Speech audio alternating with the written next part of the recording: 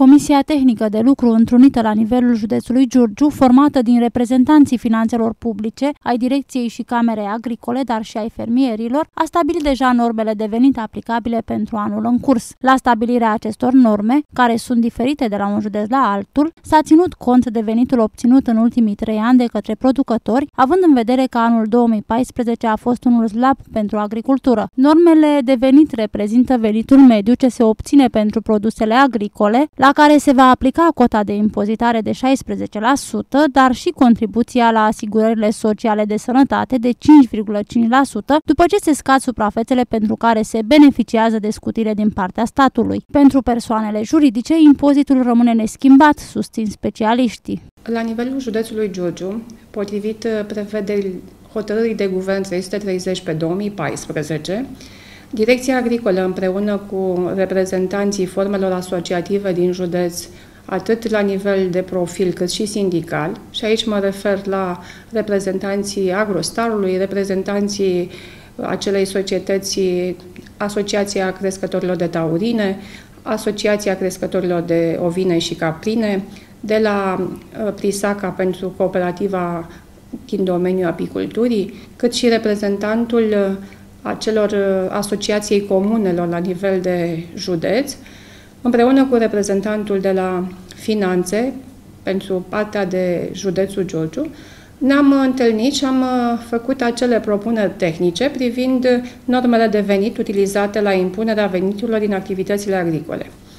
Uh, fac o precizare că aceste norme, propuneri de norme, sunt uh, adresate numai persoanelor fizice care lucrează în agricultură și care depășesc uh, baremurile impuse de hotărârea 330 pentru cele 20 de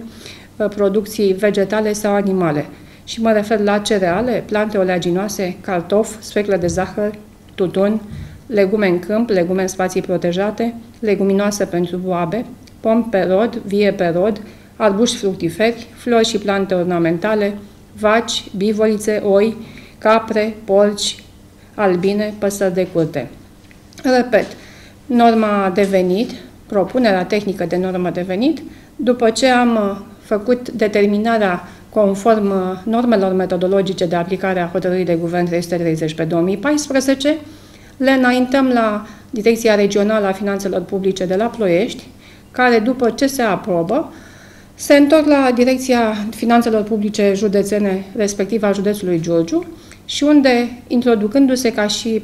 propunere aprobată, se va lua în calcul în momentul în care sunt acele declarații de la persoanele fizice vis-a-vis -vis de suprafețele cultivate și se pot deduce acele impozite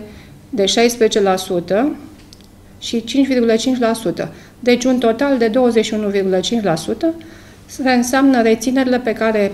se fac la aceste venituri obținute din uh, cultivarea celor 20 de uh, producții vegetale sau animale. Pentru fiecare produs din lista stabilită s-a ținut cont de situația reală a anului 2014, dar și de factorii meteorologici care au condus la diminuarea producțiilor obținute la hectar, îndeoseb la cereale. De asemenea, la stabilirea normelor de venit s-a avut în vedere și situațiile transmise de către primării. Potrivit Petrei Ochișor, la cereale, norma de venit pentru 2015 este de 178 de lei pentru fiecare hectar ce depășește limita stabilită de 2 hectare. Prin urmare, mare, impozitul plătit este de 38,27 lei pe hectar. Am uh, ținut cont de factorii meteorologici care, pentru cultura cerealelor, știți foarte bine, a diminuat uh, producția și în special pentru persoanele fizice au avut un efect destul de negativ în sensul că producția a fost mult mai mică și, bineînțeles, valorificarea la prețul pe care noi le avem uh, raportat de fiecare dată către minister prin programul SIPA.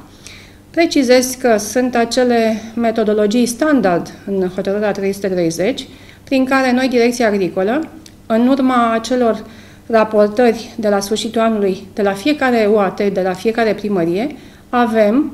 înregistrată producția obținută de către gospodăria populației, respectiv despre, de către persoanele fizice. Prețul mediu pe ultimii trei ani, producția medie pe ultimii trei ani și în baza acelor formule care sunt stricte în uh, hotărârea 330, am uh, făcut o fișă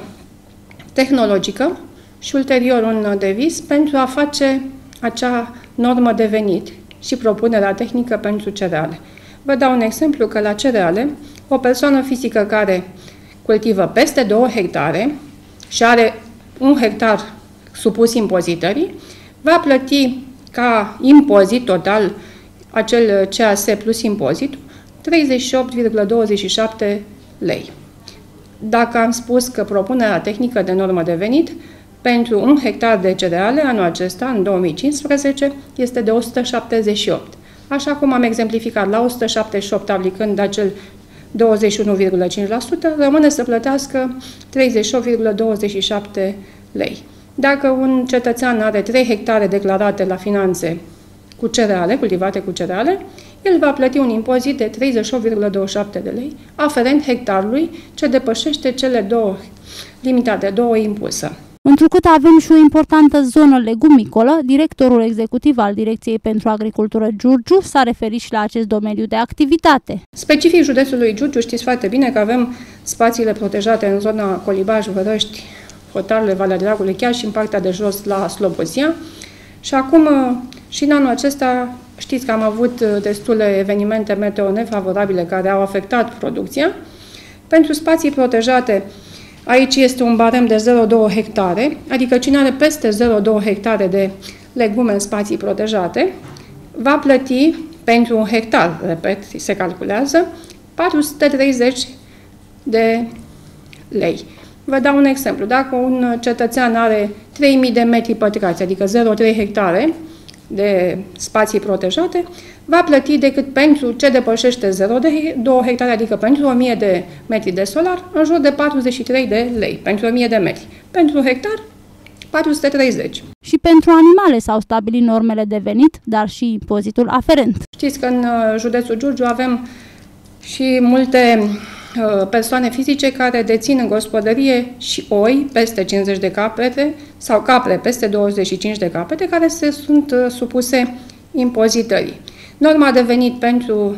ovine și caprine anul acesta, în 2015, este de 7 lei per capăt de animal. Uh, fac o precizare că și aici, în hotărârea 330, sunt precizări stricte referitor la calculul acestei norme de venit,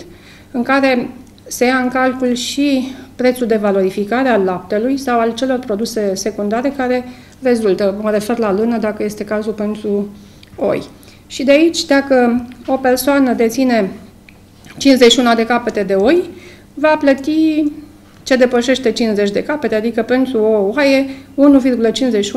lei. Împreună cu factorii implicați s-au căutat cele mai bune soluții, astfel încât impozitele plătite de țărani să fie unele omenoase. Consider că din discuțiile purtate, atât cu domnul Șoavă, care este președintele ACOR pe uh, județul Giurgiu, cât și cu reprezentantul finanțelor, chiar și cu domnul uh, de la Cooperativa Agricolă Prisaca, domnul Petru, pentru albine, unde s-a stabilit uh, norma de venit de 25 de lei peste 75 de familii, sau la păsările de curte de 2 lei peste ce depășește 100 de capete de păsări de curte, și reprezentantul agrostarului, domnul Bolocan, ne-am uh, consultat și în urma acelor